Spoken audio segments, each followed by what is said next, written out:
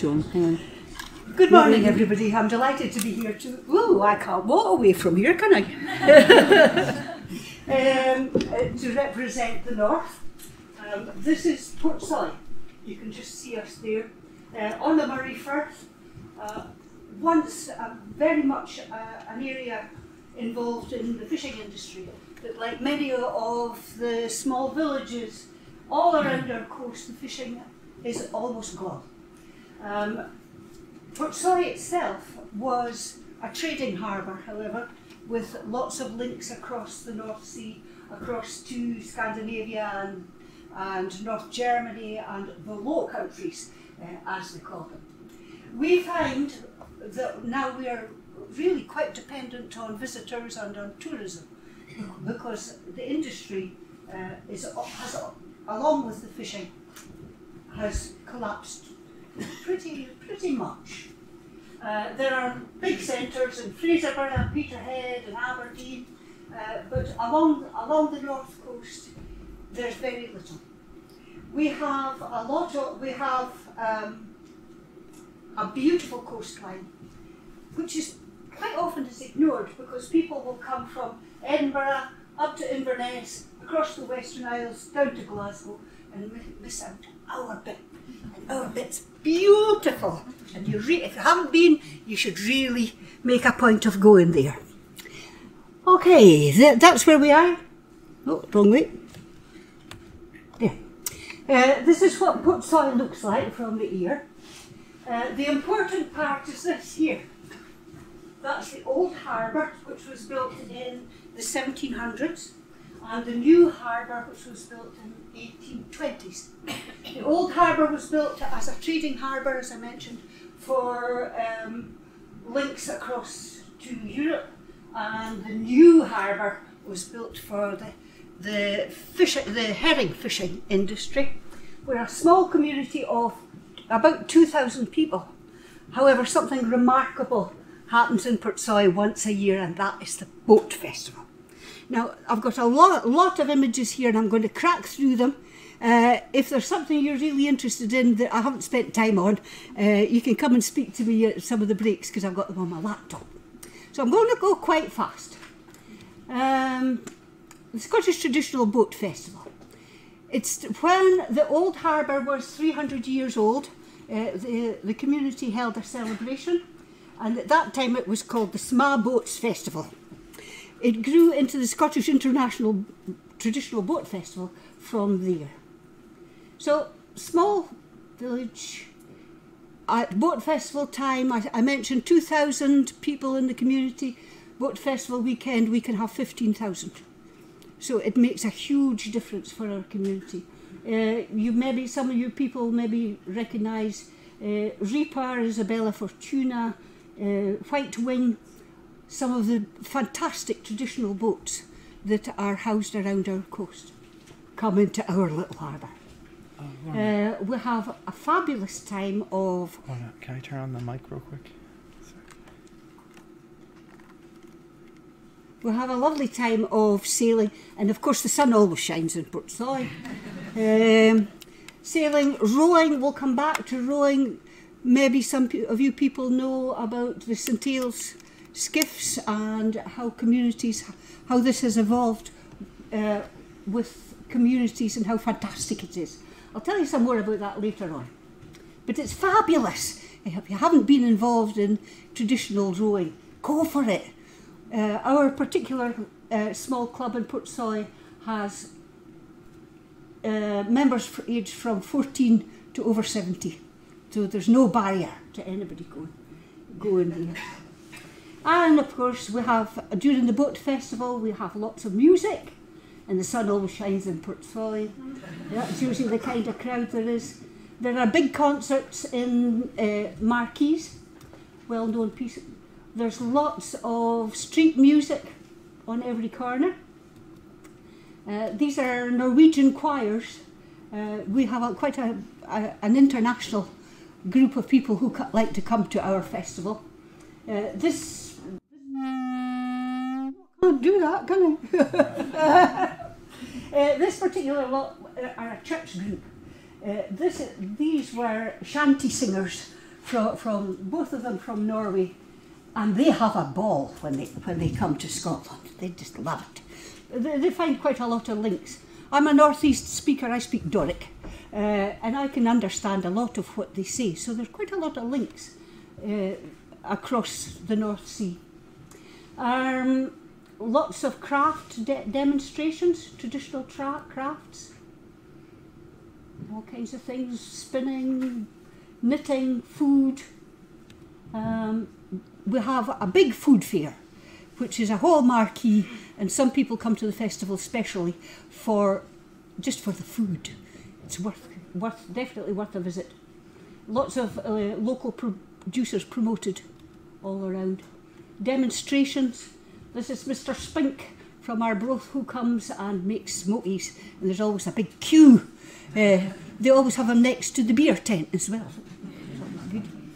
Uh, lots of activities for for families. All the kinds of things that kids like to do, particularly focusing on sailing on the small pond. Um, there is a road race for the energetic. There's a 2k and a 10k. Um, this year we had uh, a fabulous uh, exchange group with Latvia and Estonia and we had 60 um, demonstrators uh, from Latvia and Estonia who lived in small pods, not quite tents, but made from timber. Um, and there they are uh, on the shore. Uh, they brought music and food and craft, and they were fabulous. And then later on in the summer, some of them uh, sorry, the Portsoy people went across, oh, I'm going off again, uh, went across uh, to Estonia and took part in one of their uh, projects, and there's more to come. Okay, apart from the festival, a lot of things have uh, arisen from that. We have a big connection to music. We, we have, I could do a whole talk about music, but I'm not. So this, the primary schools are very much involved in the in music and music making. Um, also, older children who have got particular skills in music making are brought together and given the opportunity to play together. So, but I'm not going to speak about that so much uh, as about boats and boat building. Um, one of our volunteers, and the whole thing I have to say is run by volunteers, um, he said that he got fed up with these kids, older kids, sitting on his windowsill, uh, not doing anything. So he and a friend began a boat building project. These were youngsters, they began really, I think they, were maybe about 12, 13 years old when they began to be involved in this. And they built this small boat. It was a fairing.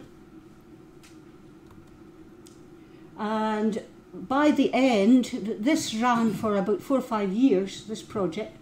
Um, the older boys knew the skills and were teaching them to the younger ones, these traditional boat things, uh, and doing things that they maybe wouldn't have expected. For for example, that kid that is up there in the in in the corner there said, "I never knew I was going to have to learn how to sew to be able to do this project, doing sail making." Um, that's their finished boat, and I loved it. They called it Ur Booty. Um, and kids who would hardly say more than a couple of words to you were standing up demonstrating to the public, and their confidence had grown fantastically. Uh, from the original boat building project, we went into the primary schools, and this is where I was uh, involved. We began by building Optimist dinghies. So anybody who knows about sailing probably knows that these are super little um, stable boats which are perfect to learn to uh, sail in, but they're also very easy to build. We were astounded by how well the primary school kids took to this. They absolutely loved it. Uh, girls particularly were very good at it. So, with the help of our volunteers, drilling, screwing, countersinking, gluing, measuring, interacting with each other, problem solving, the whole range uh, was undertaken. that's one of, one of their little boaties nearly finished. And there they are sailing them on the local pond. And it was fabulous. Uh, over seven years, we've built 67 of those um, and involved more than 700 kids. We had to change the design, however, because that particular pond doesn't get very good wind, so we changed it from the optimists to the pessimists, and the pessimists were for paddling. And then, for various reasons, we had to uh, go into the schools and build more or less like um, flat packs in the schools, and we called them the pragmatists. So the pragmatists were, were there. But the kids absolutely loved it. Uh, and as a result, some of these 700 kids, when they went up to the academy, wanted to continue. Um, so it began as a lunchtime club run by our volunteers, uh, boat building, and it was when the Her Majesty's Inspectors of Schools came to Banff Academy, that was one of the things that was picked up was how positive the boat building was and what kids got out of it. Um, so it is now, there are two full-time classes of boat building happening, still run by our volunteers with the help of the technical department at Banff Academy. Also from there, Chevron, the, the oil company, uh, gave us funding to support a group of youngsters who found school particularly difficult. These weren't kids who had learning difficulties, but they didn't want to be in school, to be honest. They didn't want to be sitting at desks writing essays. Uh, so, again, with our volunteers and with funding, these youngsters uh, come once a week and work uh, in our boat shed, which I'll tell you more of in a minute. But again, these are youngsters who would hardly speak to you. And here they are. This is the chap in the middle is the chairperson um, there's also the head of Chevron, there's our MP, there's head of education in Aberdeenshire, and Pete is one of the volunteers. And if you see over at the other side, these are the kids who wouldn't speak to you um, really now, uh, taken off and quite confidently, hello, have I done something? It's not moving. Press escape. The escape key. Escape? Okay. Okay. Okay, another, another thing that happened regarding boat building I mentioned earlier was the St Ailes, building of St Ailes skiff. Um, Pete, who had was involved with the youngsters boat building, um, thought that the youngsters could build a St Ailes skiff. But the youngsters had moved on, gone to university, got jobs, and the kit for St Ailes skiffs was left. The woman in Portsoy took it on, and I was really delighted about that. It was the first St Ailes skiff in certainly in Scotland to be built by an all-woman crew, and they were they were fabulous. Somebody, somebody, and I, I suspect it was Pete, uh, facetiously said, "Suppose you're going to paint it pink," and they said, "Yes," uh, and so they did. So they raised money and they had, they, they had a fabulous time. And there, there, I have to say, it wasn't just the women. There was various dads and next door neighbours came and lent, lent a hand, and so um, there it was. Um, they're very seaworthy little boats. Um, I don't know if you can see that. That's it coming out of the harbour. Um, in this bottom picture is my husband who's sitting over there he, he was coxing. There are four rowers, so four women are rowing, and my husband was coxing, and he said, they couldn't see what was coming, but I could. Lots of big waves. Not to be outdone, the men built uh, another one. I should have said that the woman called their boat Soy Quine, which is girl, and the boys built Soy Loon, which, which is the which is the soy boy. Uh, we now have a soy lassie, a soy lady, we've got a soy bairn, I think we've even got a soy futret as well. So, so huge community involvement and it's in all kinds of weathers, involving all kinds of people, lots of competition, lots of socialising. Um, this is actually up on up at Avoch, up in the Black Isle, and these are youngsters from the local academy. And you can see it's the green boat and the, but the pink oars, so there's no demarcation between the, between the, the rowers. Uh, and another thing that happened was that salmon fishing had collapsed. We were given an old salmon fishing boat, a cobble. Uh, it was absolutely derelict. Uh, it was beyond redemption. But the volunteers took it apart, took all the measurements, um, and we now have a complete record of how it was built because the old boys that built them never used plans. Um, this is it went through the whole process, right from the timber through the building. And there it is, nearly complete. And here it is in the harbour. It's that soy lady now. And there it is out at sea. It was a fabulous day, I have to tell you. We were del- so delighted to get it finished. The other thing, apart from boats and boat building, has been developing the physical as- assets around Portsoy. There were a lot of derelict buildings. That's one. Uh, this was the salmon fishing ice house. Downstairs were the ice chambers, upstairs was a net loft. Um, salmon fishing collapsed in Portsoy in 1990 uh, and the building was, was abandoned. However, local people thought it's a good building, we like it. Uh, so they took on to raise over £400,000 and that's what it looks like now.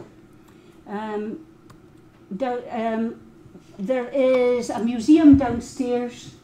There's the net loft has become a performance area and hub, uh, and there's a place for investigating genealogy. It's a centre for music.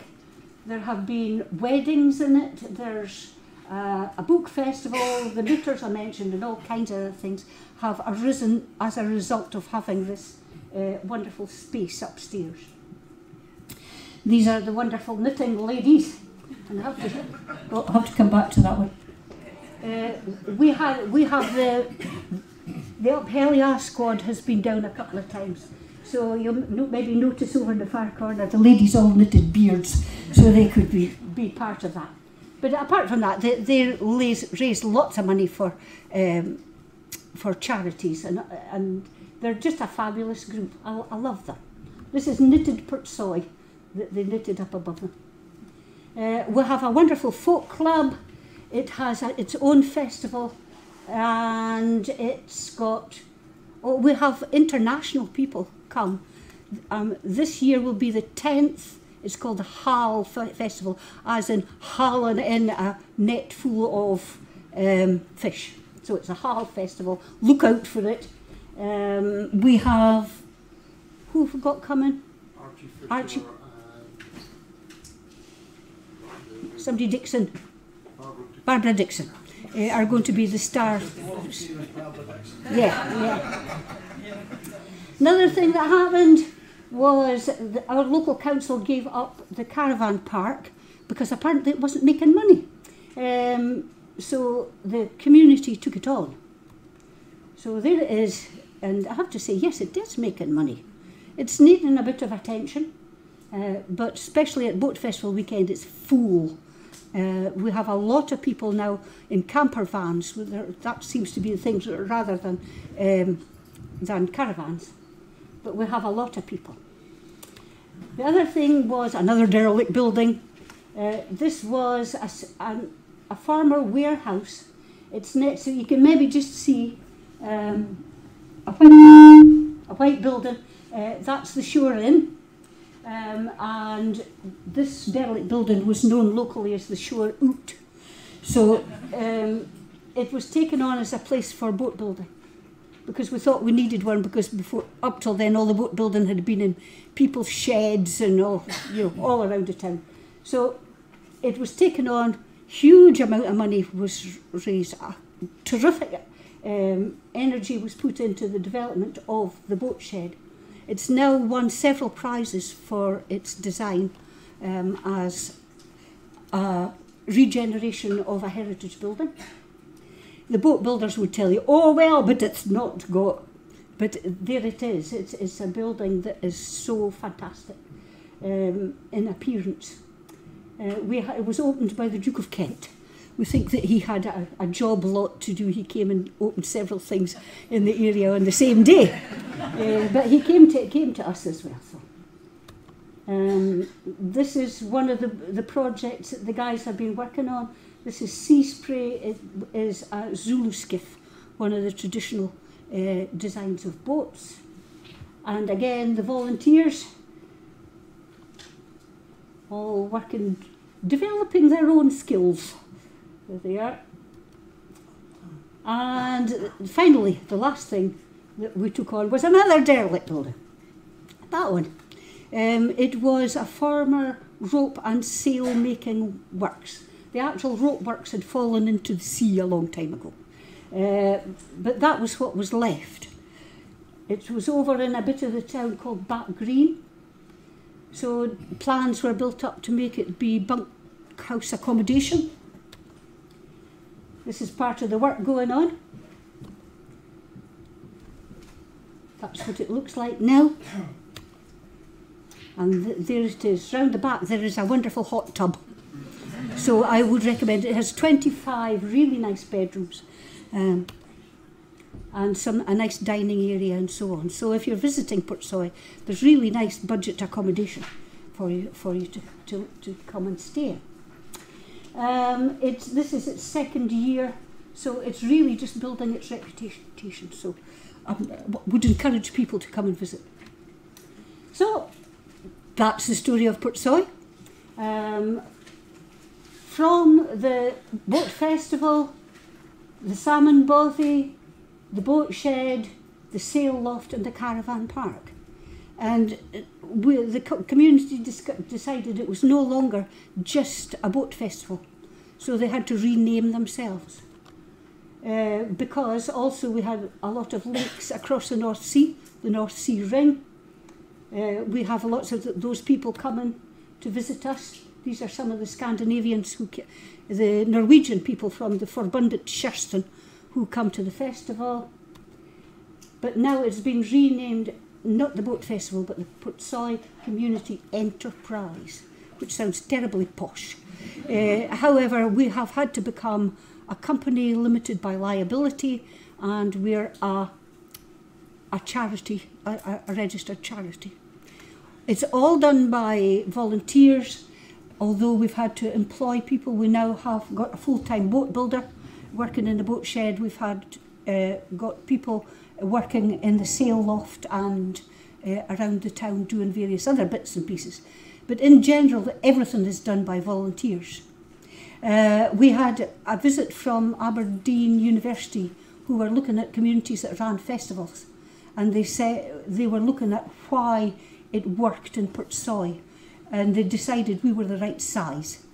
There are enough people uh, to support any kind of developments but not, we're not so big that there are people with their own agendas.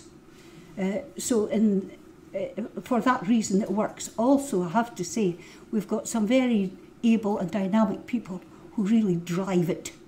Um, you are very welcome to come along at any time. If you have any questions to ask me later, because I, I'm- I know that I'm running over. Um, so thank you very much for listening, everybody. I do hope that we'll see you up north in Portsoy. Thank you.